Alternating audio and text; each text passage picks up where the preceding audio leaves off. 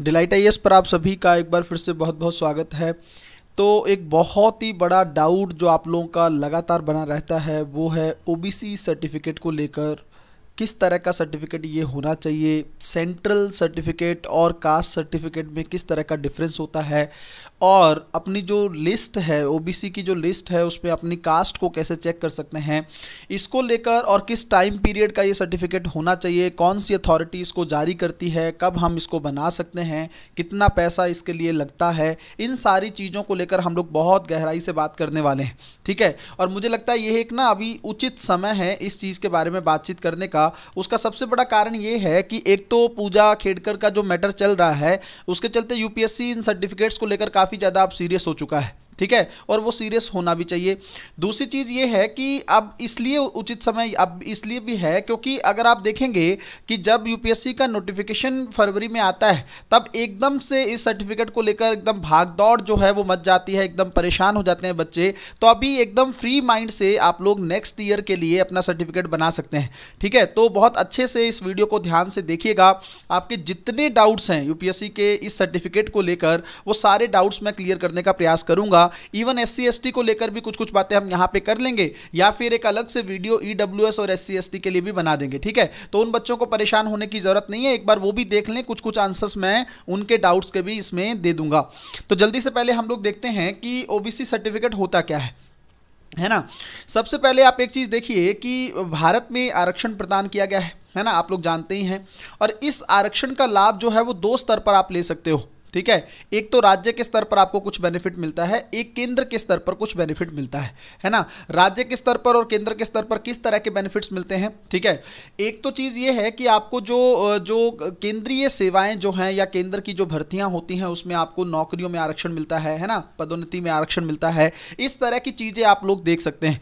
दूसरा आपको बेनिफिट ये होता है कि राज्य स्तर पर जो सेवाएँ हैं, उसमें जो आरक्षण है नौकरियों में वो मिल सकता है अटेम्प्ट वगैरह में जो कुछ बेनिफिट देखने को मिलता है एज रिलैक्सेशन आप देख सकते हैं, वो सब चीज़ें आपको फ़ायदे मिलते हैं। इवन यहाँ तक कि कट ऑफ़ में भी फ़ायदा देखने को मिलता है, ठीक है? तो ओबीसी जो है, अगर आप देखेंगे अदर बैकवर्ड कास्ट हैं और ये एस सी के अलावा हैं, ठीक है? एससी और एसटी के अलावा ये कास्ट हैं और इन कास्ट को जो है सर्टिफिकेट लेना होता है ताकि वो रिजर्वेशन का बेनिफिट जो है या फ़ायदा जो है, वो उठा सके।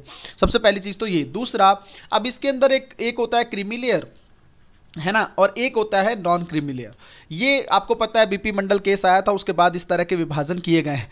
अब ये नॉन क्रीमी लेयर क्या होता है? देखो, अगर किसी परिवार की सालाना आय जो है आठ लाख रुपए से ज़्यादा है, अगर आप पूछेंगे, क्या सर, अभी भी यही है? लेटेस्ट ये है? बिल्कुल सही कह रहा हूँ मैं आपको। 2024 में भी अभी तक ये है। हालाँकि इसकी डिमांड रखी गई है कि इस इनकम को या इस सीमा को अब थोड़ा सा बढ़ाने पर सरकार को विचार करना चाहिए, ठीक है? लेकिन अभी के लिए आठ लाख रुपए की सीमा है। अगर आपके परिवार की इनकम आठ लाख से कम है तो फिर आप जो है नॉन क्रीमी लेयर में आएँगे और अगर आपकी इनकम जो है आठ लाख से ज़्यादा है तो आप लोगों का परिवार जो है क्रीमी लेयर की श्रेणी में रखा जाएगा, ठीक है? और नॉन क्रीमी वाला ये है, और आपको पता है कि ओबीसी को सत्ताईस प्रतिशत का आरक्षण जो है वो मिलता है। इसका मतलब ये है कि सौ प्रतिशत अगर सीट्स हैं, सौ सीट हैं तो उसमें सत्ताईस सीटें जो हैं वो ओबीसी के लिए आरक्षित रखी जाएँगी, है ना? तो अच्छा खासा आरक्षण है, आपको इसका बेनिफिट लेना चाहिए अगर आप इस कास्ट से बिलोंग करते हैं। दूसरा ये है आप लोगों के दिमाग में एक चीज़ आ रही होगी कि कौन से ऐसे पर्सन हैं जो क्रीमी लेयर में शामिल किए जाते हैं? देखो, एक तो संवैधानिक पद पर बैठने वाले व्यक्ति वो क्रीमी लेयर में आएँगे, है ना? ग्रुप ए के ग्रुप बी के अधिकारी जो हैं, इसमें सी डी आपको देखने को नहीं मिल रहा होगा, है ना? पी वगैरह जो उसमें काम करते हैं पब्लिक सेक्टर यूनिट्स हैं यूनिवर्सिटीज़ हैं बैंक बीमा कंपनियों के जो अधिकारी हैं, वो सब इसके अंदर आएँगे। इवन निजी कंपनियों में जो कार्यरत अधिकारी हैं, वो भी इसके अंदर लागू होगा उनका, अगर इनकी इनकम जो है वो आठ लाख रुपये से ज़्यादा है। इंजीनियरिंग इंजीनियर डॉक्टर सलाहकार, कलाकार, लेखक ये सब इसके अंदर आएँगे, सेना में कर्नल या उसके ऊपर की रैंक का जो अधिकारी होगा, वो भी क्रीमी लेयर के तहत रखा गया है। ठीक है तो ये कुछ लोग ऐसे हैं जिनका जो है कहीं ना कहीं पे इनको बेनिफिट नहीं देखने को मिलेगा ओबीसी में। बाकी जो लोग हैं वो नॉन क्रीमी लेयर में शामिल होते हैं। अच्छा ओबीसी सूची में शामिल होने के लाभ क्या है? एक तो मैंने आपको बताया कि 27 परसेंट का आपको आरक्षण कोटा मिलता है ना? जैसे आई एस वगैरह के लिए जो एग्ज़ाम एग्जामिनेशन जो यूपीएससी का होता है सेंट्रल स्टेट के जैसे जैसे ईपीएफओ का एग्ज़ाम है ना यूपीएससी करवाता है असिस्टेंट कमांडेंट का एग्ज़ाम यूपीएससी करवाता है तो इन सब जो एग्ज़ाम होते हैं, उसमें आप ओबीसी का जो है बेनिफिट ले सकते हैं। इवन ऊपरी आयु सीमा में भी आपको छूट देखने को मिलती है। जैसे अगर आप देखेंगे तो यूपीएससी में जनरल के लिए बत्तीस साल की एज है और ओबीसी के लिए पैंतीस साल की एज लिमिट है। तो कम से कम तीन साल का जो एज रिलैक्सेशन आपको देखने देखने को मिलेगा यहाँ पे। इवन इसी तरह का मुझे लगता है एज रिलैक्सेशन है आपका सी के तौर पर भी। वहाँ पे भी आपको बेनिफिट देखने को मिलेगा ई में भी देखने को मिलेगा। और उसके अलावा प्रयासों की संख्या। आप लोग जानते हैं कि लगभग छह प्रयास हैं आपके जो है जनरल कैटेगरी में और नौ प्रयास आपको देखने को मिलते हैं कहाँ पे? ओबी ओबीसी के लिए, है ना? और शायद अनलिमिटेड जो है प्रयास हैं एस और एस कैटेगरी के लिए। दूसरा कट ऑफ़ के अंकों में क्या नंबर है? अगर आप थोड़ा सा यहाँ पे क्लैरिफिकेशन मुझसे चाहेंगे कि सर क्या बेनिफिट होता भी है या नहीं होता देखो जनरल और ओबीसी जो होते हैं, इनको प्रिलिम्स में बहुत ज़्यादा डिफरेंस यहाँ पे देखने को नहीं मिलता है। एक दो नंबर का रहता है, कई बार नहीं भी रहता है। बट वही है ना, किस्मत को चेक क्यों ही करना है? अगर आपको एक दो नंबर ही मान लो आपका कम हो और आपको कास्ट सर्टिफिकेट के माध्यम से मेंस लिखने का मौका मिल जाए तो आपको वो मौका नहीं छोड़ना चाहिए ना। उस मौके का फ़ायदा आपको उठाना चाहिए, पहली चीज़। दूसरा मेन्स एग्जामिनेशन में कम से कम पचास से साठ नंबर का डिफरेंस आ जाता है ओबीसी में भी। और जो अदर कास्ट हैं, जैसे एस सी इनका जो है अच्छा खासा पंद्रह बीस नंबर का डिफरेंस रहता है आपका, जो प्रिलिम्स में भी। तो एस सी को लेकर प्रीलिम्स एग्जामिनेशन में भी बेनिफिट है आपको. इवन ओबीसी और ईडब्ल्यूएस e को लेकर मेंस और इंटरव्यू में भी अच्छा खासा डिफरेंस आ जाता है. तो आप लोगों को इस सर्टिफिकेट का फ़ायदा ज़रूर उठाना चाहिए. अगर आप उस कास्ट से बिलोंग करते हैं, लेकिन फ्रॉड करके नहीं करना है, अभी हम लोग और भी डाउट्स क्लियर करेंगे इनकम को लेकर, है ना? क्या चीज़ें हैं? अभी चलने दीजिए वीडियो आगे, आपके सारे डाउट्स क्लियर हो जाएँगे. दूसरा, अब देखो कई बच्चों का ये होता है कि सर, जो सेंट्रल लिस्ट है, जो सेंट्रल का सर्टिफिकेट होता है, इसका क्या दुख है? ये समझ में नहीं आ रहा है. देखो सबसे पहले क्या चीज़ है? देखो, आप जिस राज्य से बिलोंग करते हैं ना, जिस राज्य से आप बिलोंग जैसे मान लो एग्जांपल लेते हैं यूपी से, क्योंकि ज़्यादातर बच्चे वहीं से बिलोंग करते होंगे हिंदी माध्यम के तो यूपी से आप बिलोंग करते हैं। तो ये जो स्टेट गवर्नमेंट है ना, ये आपको एक कास्ट सर्टिफिकेट बना के देती है, जाति का प्रमाण पत्र बना के देती है। सबसे पहले समझिएगा इसको, ठीक है? अब जाति का प्रमाण पत्र ये होता है स्टेट के लिए, राज्य के लिए। है ना? राज्य के लिए एक कास्ट सर्टिफिकेट आपका बनता है है ना? अगर आप चाहते हो कि राज्य सरकार की जो यूपी की जो सेवाएँ, जैसे स्टेट पीएससी वगैरह का एग्जामिनेशन होता है रिव्यू ऑफिसर का एग्जामिनेशन होता है, इस तरह के एग्जामिनेशन में अगर आपको बेनिफिट चाहिए तो जाति का एक अलग से प्रमाण पत्र राज्य बनाकर देता है। ठीक है? कहाँ से बनता है वो भी अभी बात करेंगे बट पहले आप ये समझो। अब ये तो हो गया कि स्टेट के लिए आपको फ़ायदा लेना है। वहीं दूसरा अगर आप देखेंगे, इसी तरह का एक प्रमाण पत्र बनता है केंद्र की सेवाओं के लिए, केंद्रीय सर्विसेज़ के लिए, है ना? सेंट्रल गवर्नमेंट के अंडर जो भी सर्विसेज़ आती हैं, उनके लिए जो भी भर्तियाँ आती हैं, उनमें फ़ायदा लेने के लिए अलग से सर्टिफिकेट बनता है। सबसे पहला जवाब आप लोगों को यहाँ पे ध्यान रखना है। बहुत सारे डाउट बच्चों के रहते हैं, सर, राज्य का बना है, राज्य का बना है, क्या वही यूपीएससी में लगा सकते हैं? तो समझ लो यहाँ पर वो नहीं लगा सकते आप। ठीक है, अलग से एक सर्टिफिकेट बनाना होगा। दूसरी चीज़, कई बच्चों के मन में आता है, क्या सर एस सी के लिए भी सेंट्रल का अलग बनता है? हंड्रेड परसेंट अलग बनता है भाई, इसको भी समझ लो। केंद्र सरकार का अलग सर्टिफिकेट बनता है उसका, लेकिन ये दोनों ही सर्टिफिकेट बनाएँगी राज्य सरकारें। ऐसा नहीं कि केंद्र सरकार इनको बना के देगी, ऐसा कुछ नहीं। परफॉर्मा डिफरेंट है है ना? दोनों का परफॉर्मा अलग अलग है, लेकिन ये जो है, बनाएगी राज्य सरकार ही। तो राज्य सरकार में भी कौन बना सकता है, अभी हम लोग देखेंगे इसको। तो सबसे पहले अपनी सूची को, आपको करना क्या है? अगर आप ओबीसी से बिलोंग करते हैं, और आपको ये नहीं पता है कि क्या अच्छा किसका बनेगा सेंट्रल सर्टिफिकेट? देखो, राज्य की जो ओबीसी सूची है ना, वो अलग होती है, और केंद्र की जो ओबीसी सूची है, वो अलग होती है। लगभग थोड़ा थोड़ा समानता भी होती है इसके अंदर, बट कुछ कुछ अलग भी रखा जाता है। चीज़ों को, है ना? तो राज्य की ओबीसी अगर आपको सर्टिफिकेट बनाना है तो आप राज्य की ओबीसी लिस्ट में होने चाहिए तो आपका इनफ है। वो उसके चलते आपका राज्य की सेवा में आप बेनिफिट मिल जाएगा आपको। लेकिन केंद्र की एक अलग सूची होती है, उसके अंदर अगर आपका नाम है, आपकी कास्ट का नाम है मतलब आपका नाम नहीं, आपकी जाति का नाम अगर उस सूची के अंदर है तो फिर आपका केंद्र वाला सर्टिफिकेट बनेगा, वरना आपका केंद्र का सर्टिफिकेट नहीं बन सकता है, इस चीज़ को समझिएगा। अब आपके दिमाग में आएगा कि, सर, कहाँ से मतलब हम चेक कर सकते हैं? कुछ नहीं करना है आपको। अगर तो थोड़ा सा एफर्ट कर सकते हैं तो खुद कर लीजिए, वरना मैं लिंक दे दूँगा। और टेलीग्राम में मैं सारे ये परफॉर्मेंस सेंड करने वाला हूँ। डिलाइट आई का टेलीग्राम चैनल आप ज्वाइन कर सकते हैं। उसका लिंक जो है डिस्क्रिप्शन में दिया हुआ है। वहाँ पे मैं सारे परफॉर्मे इवन एस सी को लेकर ईडब्ल्यू को लेकर ओबीसी को लेकर सारे परफॉर्मे जो यूपीएससी मांगती है, वो सारे वहाँ पर शेयर कर देंगे हम। ठीक है? यहाँ पे देखो, एक तो आपको कुछ नहीं करना है गूगल पे जाना है और लिखना है सेंट्रल ओबीसी लिस्ट सिर्फ़ गूगल पे जाना है और जाके वहाँ पे ये लिखना है। जैसे ही आप वहाँ पे वो लिखोगे तो आपके सामने जो सबसे पहला लिंक आएगा ना, उस लिंक को ओपन करिएगा। ठीक है? लिंक ओपन करने के बाद आप अंदर जाएँगे ना तो अंदर स्टेट के नाम लिखे होंगे। जैसे आप मान लो यूपी से हैं, बिहार से हैं, बस उस पे जाके क्लिक कर दीजिए जैसे ही आप अपनी स्टेट पे क्लिक करेंगे, उसके अंदर बहुत सारी कास्ट की लिस्ट दी होगी। उन लिस्ट में अपनी कास्ट को छांट लीजिए। ज़्यादा लंबा नहीं होता है वो, बहुत लंबा समय नहीं लगेगा, पाँच दस मिनट का काम है। जैसे ही आप उसके अंदर जाओगे तो आप अपनी कास्ट को फाइंड आउट कर लीजिएगा। अगर आपकी कास्ट वहाँ पे मिल रही है, इसका मतलब 100 परसेंट कोई प्रॉब्लम नहीं है। आप सेंट्रल ओबीसी लिस्ट जो है, या सेंट्रल ओबीसी सर्टिफिकेट का जो सर्टिफिकेट है, वो आप बना सकते हैं। उसमें कोई भी आपको प्रॉब्लम नहीं है। दूसरा, आपको इसके साथ साथ अब ये नहीं है कि सिर्फ़ लिस्ट में नाम है तो आपका जो है सर्टिफिकेट बन जाएगा, आपको बेनिफिट मिलने लगेंगे। नहीं, आपको कुछ अदर क्राइटेरिया भी फॉलो करने होंगे। जैसे आपकी इनकम जो है, वो आठ लाख रुपए से सालाना इनकम आपके माता पिता की ज़्यादा, इससे ज़्यादा नहीं होनी चाहिए, है ना? तो एक चीज़ तो ये समझ में आ गई। इसी तरह से एस सी वाले बच्चे भी कर सकते हैं। वो भी जाके अपनी एस सी लिस्ट चेक कर लीजिए सेंट्रल स्तर पर। उसमें अगर कास्ट में स्टेट में जाके आपका नाम आ रहा है कास्ट का तो आप बिल्कुल निश्चिंत हो जाइए। निश्चित तरीके से आप सर्टिफिकेट बना सकते हैं। कोई भी आपको नहीं रोक सकता या मना नहीं कर सकता है। आगे चलते हैं। अब देखो, एक जो सबसे बड़ा दुख है वो क्या है कि देखो भाई अगर आपके माता पिता जो हैं, ग्रुप ए बी के ऑफिसर्स हैं और 40 साल की एज से पहले बन चुके हैं तो वो क्रीमी लेयर में आएँगे। ठीक है? ग्रुप ए और बी के ऑफिसर्स हैं तो आपको बेनिफिट नहीं मिलेगा, आप क्रीमी लेयर में आ चुके हैं। बट अगर आप नहीं हैं, मान लो वो गवर्नमेंट एम्प्लॉयज़ नहीं हैं और उनकी इनकम जो है वो कम है है ना? या अब ज़्यादा है, आठ लाख से ज़्यादा है और इसमें सैलरी और एग्रीकल्चर की इनकम अगर शामिल नहीं की जाती है, उसके अदर सोर्सेज से इनकम अगर आठ लाख से ज़्यादा है तो आप लोग फिर भी क्रीमी लेयर में आएँगे। तब भी आपको इसका बेनिफिट नहीं मिलेगा। अब देखो बच्चों, इसको लेकर ना एक सुप्रीम कोर्ट में अभी केस चल रहा है। मैं आपको मैटर पूरा समझाऊँगा बट पहले जल्दी से हम कुछ और डाउट्स ले लेते हैं। इसको लेकर मैं आपको एकदम क्लियर करूँगा सर, ये कृषि का इनकम का क्या सीन है सैलरी को लेकर क्या छोड़ना है, क्या नहीं, मैं अभी बताऊँगा इसको लेकर बट पहले हम लोग जल्दी से बाकी डाउट्स थोड़ा सा लिख लेते हैं। ठीक है? यहाँ पे देखो अच्छा आपके मन में एक डाउट आएगा कि सर ये जो आठ लाख की इनकम है, क्या इसमें हमारी खुद की इनकम भी इन्वॉल्व होगी क्या? जो अगर मान लो कुछ लोग जॉब कर रहे हैं, कुछ काम कर रहे हैं, नहीं, ऐसा कुछ नहीं है। उम्मीदवार की इनकम इसमें नहीं आएगी। सिर्फ़ आपके माता पिता की इनकम जो है, वही इनकॉल इंक्लूड की जाएगी और चेक किया जाएगा, क्या वो सालाना आठ लाख रुपये से ज़्यादा है या कम है।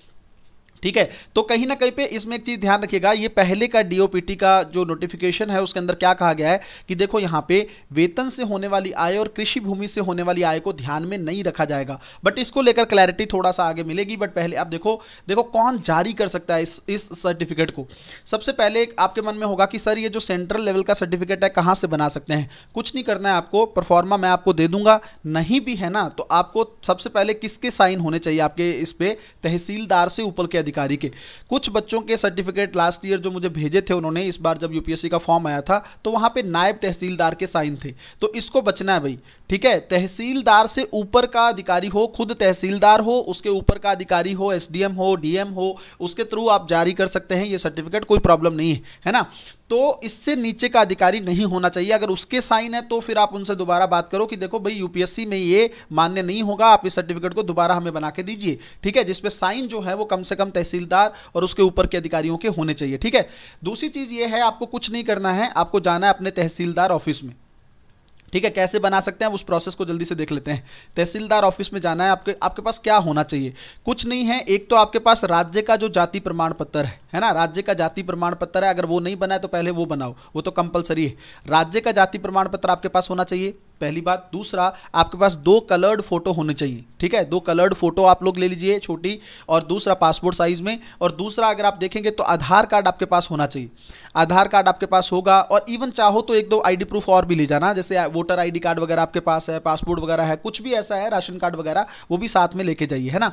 अच्छा ये जब हो जाएगा ना, इसके साथ ही आपको एक इनकम सर्टिफिकेट बनाना होगा, आय का प्रमाण पत्र बनाना होगा। ठीक है? आय का प्रमाण पत्र उसका परफॉर्मा भी जो है, मैं आपको लिंक जो है, उसका भेज दूँगा। इसके नीचे भी लिंक डाल देंगे, लेकिन आप लोग टेलीग्राम से ज़्यादा अच्छे से सीधा पीडीएफ डाउनलोड कर लीजिएगा। टेलीग्राम चैनल डिलाइट आई का ज्वाइन कर लीजिएगा। उसमें बहुत अच्छे अच्छे क्विज भी आ रहे हैं। आप एक दो दिन उस चैनल को यूज़ करके देखिए, आपको बहुत अच्छी तैयारी आपकी यूपीएससी प्रीलिम्स 2025 के लिए होगी। अगर आप चाहते हैं कम से कम इतना एफर्ट कर लीजिए खुद से, आप ही की तैयारी के लिए बोल रहे हैं। दूसरी चीज़ ये है इनकम सर्टिफिकेट आपको बनाना होगा। और इसके अंदर इनकम आपको कम से कम आठ लाख रुपए से कम रखनी होगी। तो आप कह रहे हैं कि, सर, अगर ज़्यादा है तब भी देखो भाई, थोड़ा बहुत फ्रॉड तो हर बच्चा करता ही है, मुझे पता है ये चीज़। लेकिन अगर आपकी इनकम, मैं चाहता हूँ कि अभी जो केस चल रहा है, आप लोग जेनुअन चीज़ों को देखिए। अगर सच में आठ लाख से कम है, तभी आप आठ लाख से कम दिखाइए। और अगर आठ लाख से ज़्यादा है तो आठ लाख से ज़्यादा ही दिखाइए उसमें। ठीक है? तब फिर बेनिफिट आपको नहीं मिलेगा।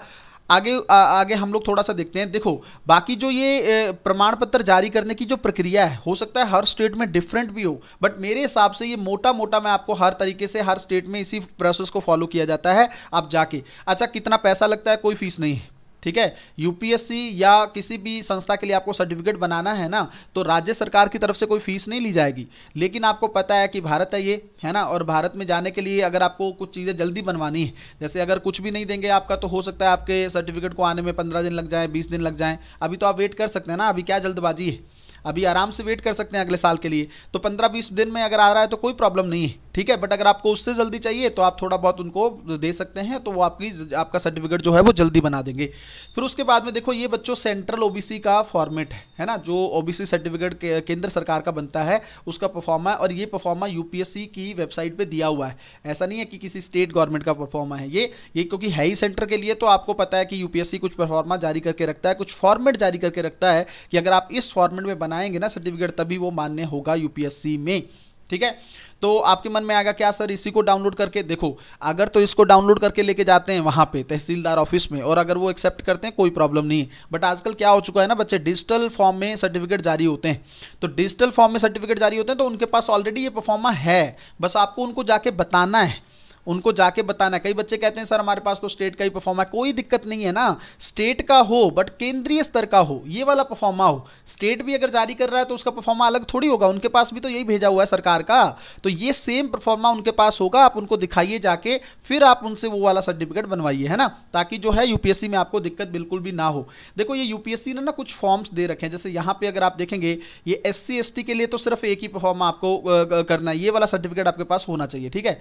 और जो ओबीसी ओबीसी के लिए दो सर्टिफिकेट हैं। एक तो ये ओबीसी के लिए जो बनेगा सर्टिफिकेट वो वाला और ये इनकम का सर्टिफिकेट है। नीचे अगर आप देखेंगे ठीक है डिक्लेरेशन करनी है उनको कि हमारी इनकम एक्चुअल में है कितनी फैमिली की कितनी इनकम है ठीक है तो ये भी मैं आपको पूरा वहाँ पे शेयर कर दूँगा। यहाँ पे अगर देखेंगे जैसे इनकम सर्टिफिकेट अगर आप देखेंगे जैसे ये सर, राजस्थान सरकार का है ठीक है वैसे तो यूपीएससी ने भी जारी कर सकता कर रखा है आप वो बनवा के रखें लेकिन ये स्टेट गवर्नमेंट कई बार इस तरह से अपना जो है इनकम सर्टिफिकेट जारी करती हैं वो आप बनवा लीजिए और चाहें तो आप यूपीएससी का भी बनवा सकते हैं कोई प्रॉब्लम नहीं बस जेनवन होना चाहिए वो बाकी उसमें दिक्कत नहीं होनी चाहिए।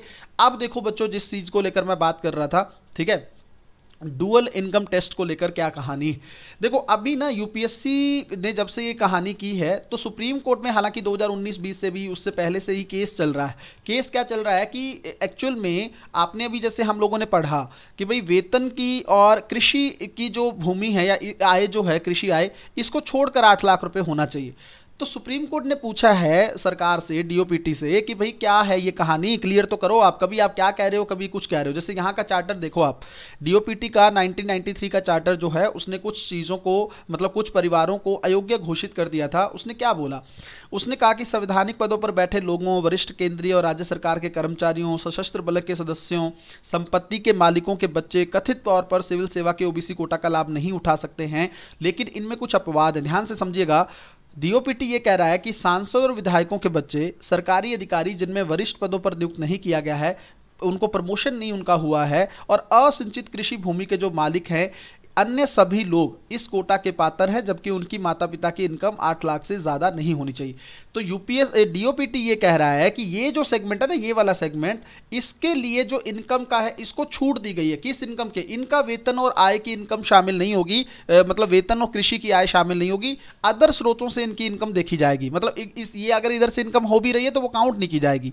और बाकी सबके लिए जो है, वो काउंट की जाएगी। तो ये एक कहीं ना कहीं पर क्लैरिफिकेशन डीओपीटी देने में अभी तक विफल रहा है सुप्रीम कोर्ट को। तो केंद्र सरकार ने जो हलफनामा अभी सुप्रीम कोर्ट में जारी किया, अभी भी केस चल रहा है, आपको पता है, सुनवाई हुई थी आज से दस दिन पहले। तो केंद्र सरकार ने एक बात बोली है सुप्रीम कोर्ट में कि देखो, जो डीओपीटी कह रही है ना, वो ज़्यादा बेटर चीज़ है है ना? तो अब अब एक डिमांड उठाएगी कि ये भाई, इसमें तो क्लैरिटी नहीं है कि किसके लिए ये इनकम छोड़नी है और किसके नहीं नहीं छोड़नी है। इससे बेटर आप एक काम करो, आप आठ लाख की सीमा को ही बढ़ा दो और दोनों के लिए कॉमन परफॉर्मा कर दो। है ना? और दोनों ये क्या है? डुअल इनकम टेस्ट बच्चों को क्लैरिटी तो सर्टिफिकेट को लेकर नहीं होती, इसमें कहाँ से क्लैरिटी होगी? तो कहीं ना कहीं पे सरकार खुद उलझती दिख रही है इस मैटर में, है ना? डीओपीटी क्लियर नहीं कर पा रहा है इस चीज़ के लिए। इवन सरकार ने, देखो यहाँ पे देखो, केंद्र सरकार ने सुप्रीम कोर्ट को यह बताया कि ओबीसी आय परीक्षण में सभी उम्मीदवारों के लिए ऐसी आय को शामिल नहीं किया गया है। जब तर्क दिया कि ईडब्ल्यू के लिए परीक्षण बहुत ज़्यादा कठोर था। तो केंद्र सरकार अलग बात कर रही है डीओपीटी अलग बात कर रहा है। सुप्रीम कोर्ट को समझ में आ नहीं रहा है कि बेसिकली क्या कहानी चल रही है? ठीक है, बच्चे अलग से परेशान है। तो सरकार को इस चीज़ को लेकर क्लैरिटी करनी होगी कि वेतन और कृषि की आय आप किन लोगों की छोड़ना चाह रहे हैं? ठीक है? या इसको, कुछ लोगों के लिए आपने इसको छोड़ दिया है कि इसको छोड़कर बाकी स्रोतों से इनकम जो है वो आठ लाख रुपए से ज़्यादा नहीं होनी चाहिए। कुछ के लिए आपने ये कर दिया है। कुछ के लिए आप ये कह रहे हो कि नहीं नहीं, वेतन और कृषि को शामिल करते हुए आठ लाख से ज़्यादा नहीं होनी चाहिए। ठीक है? तो मुझे लगता है थोड़ा सा अभी वेट कर दीजिए इस चीज़ को लेकर। मुझे लगता है जल्दी ही डिसीज़न जो है सुप्रीम कोर्ट का इसको लेकर आने वाला है। तब हम फिर से बात कर लेंगे कि इनके लिए आठ लाख वाला चीज़ें हैं। बट अभी के लिए आप सोचो कि सर अभी फिर करना क्या है? कुछ नहीं करना है। आप ओवरऑल देखो। आपकी फैमिली की इनकम आठ लाख से ज़्यादा है कि नहीं? अगर आठ लाख से ज़्यादा है, तब छोड़िए, फिर नॉन क्रीमी लेयर का बेनिफिट आपको नहीं मिलेगा। अगर इनकम आठ लाख रुपए से कम है, तब आप नॉर्मल निश्चिंत होकर जाइए और जो प्रक्रिया मैंने आपको बताई। अच्छा एक चीज़ ध्यान रखिएगा, जैसे अगर आप ना जो जो डॉक्यूमेंट्स लेके जाएँगे, जैसे मैंने बोला, आधार कार्ड लेके जाओ पासपोर्ट के फ़ोटो लेके जाओ, है ना? पासपोर्ट साइज़ के फ़ोटो जो हैं प्रिंटेड दो दो जो जो कलरफुल दो फ़ोटो आप लेके जाएँगे साथ में, और साथ में जाति का सर्टिफिकेट लेके जाएँगे, राज्य का, है ना? तीन चीज़ें तो हो गई। इसके साथ ना एक आप एप्लीकेशन भी लिख लीजिए। जिस भी अधिकारी से आपको बनवाना है, ज़रूरी नहीं है कि वो मतलब ऐसा हो कि स्पेसिफिकली आपको पता हो कि किस अधिकारी के पास आपको जाना होगा। आप कुछ भी लिख दो, आप तहसीलदार लिख दो, या जो है एसडीएम लिख दो, माननीय एसडीएम महोदय, है ना, सेवा में करके जैसे हम नॉर्मल हिंदी में एप्लीकेशन लिखते हैं, वैसे लिख दो, और लिख दो नीचे कि कहाँ का है वो एक लाइन में सबसे पहले सेवा में लिख दो, फिर यहाँ पर लिख दो, माननीय महोदय जो भी हैं वहाँ पे, और नाम मत लिखिएगा, बस वैसे ही उनका जो पोजिशन है वो लिखिएगा, कहाँ पे वो है पोस्टेड वो लिख दीजिएगा, और नीचे लिखिए, विषय लिख दीजिएगा यहाँ पे, कि विषय विषय क्या है ओबीसी सर्टिफिकेट के संबंध में? है ना? केंद्रीय ओबीसी प्रमाण पत्र जारी करने के संबंध में प्रार्थना पत्र कुछ इस तरीके से लिख दीजिएगा। और नीचे फिर लिखिएगा मान महोदय जी, निवेदन है कि मैं यूपीएससी का एग्ज़ाम देना चाहता हूँ या चाहती हूँ और मुझे ये सर्टिफिकेट बनवाना है, इस सर्टिफिकेट को मुझे जल्द से जल्द जारी करने का मतलब मेरे लिए ये किया जाए, कृपा की जाए इस तरह से जो भी आप लिखते थे। ठीक है? और नीचे अपना प्रार्थी का नाम लिख दीजिएगा। बस इतना ही लिखना है। अब इसको लेकर अलग से मत परेशान हो जाइएगा सर एप्लीकेशन का परफॉर्मा क्या है, क्या नहीं। नॉर्मल सी एक एप्लीकेशन जो आप स्कूल के स्तर पर लिखते थे, उस तरह की एप्लीकेशन एक लिख दीजिएगा, इसके साथ अटैच कर दीजिएगा उसको, ठीक है? फिर देखेगा आपका सर्टिफिकेट चार पाँच दिन में ही आ जाएगा, है ना? ये एप्लीकेशन से बहुत बेनिफिट होता है, जल्दी हो जाती हैं चीज़ें, ठीक है? तो मुझे लगता है ओबीसी को लेकर जितने भी डाउट्स हैं, वो आपके क्लियर हो गए होंगे। कहाँ से बनेगा, तहसीलदार वाला जो पर्सन है, तहसीलदार या उसके ऊपर का अधिकारी, इसके साइन होने चाहिए। कहाँ जाना होगा? तहसील कार्यालय जाना होगा अपने, है ना? अपने ज़िले के तहसील कार्यालय में आपको जाना होगा।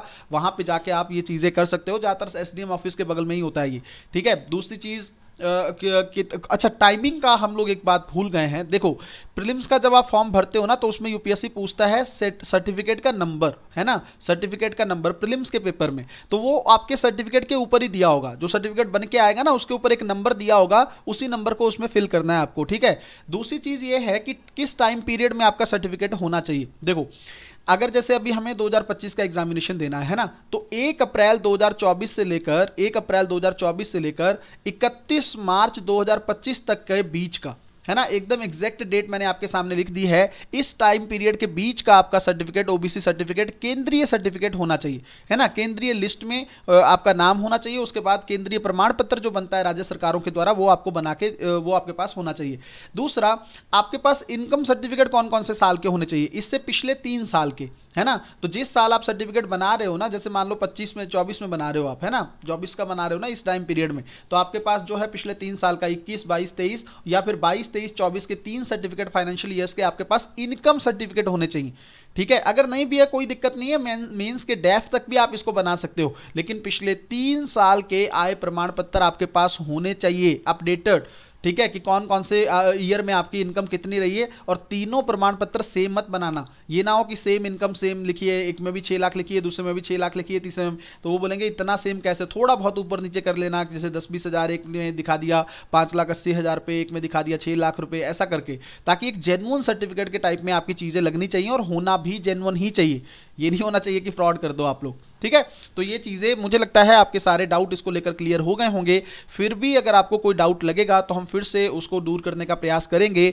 एस सी और ई डब्ल्यू एस के लिए भी मुझे लगता है बहुत सारे बच्चे परेशान होते रहते हैं। तो उसको लेकर भी एक वीडियो हम जल्दी से बना देंगे। जिन बच्चों को इनके परफॉर्मा चाहिए मतलब फॉर्मेट चाहिए ठीक है? तो उसका जो है, उसके लिए आप डिलाइट आई का टेलीग्राम चैनल ज्वाइन कर लीजिए।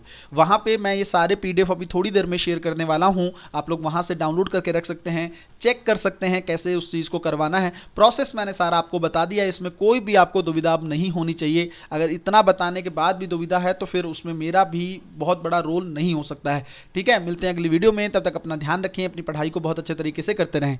बहुत बहुत धन्यवाद।